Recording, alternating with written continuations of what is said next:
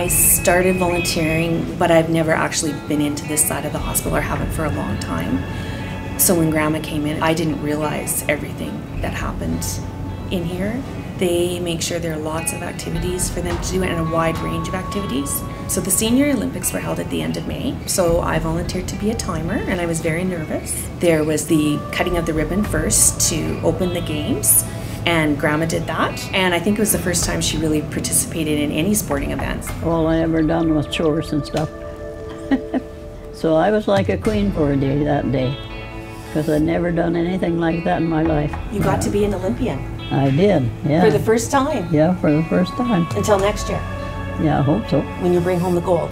Okay. But it okay. was a good day for me really good day for me yeah. I'll never forget it the people that are in here make you feel great. It's probably one of the best volunteer jobs I've ever done. It is the best volunteer job I've ever done.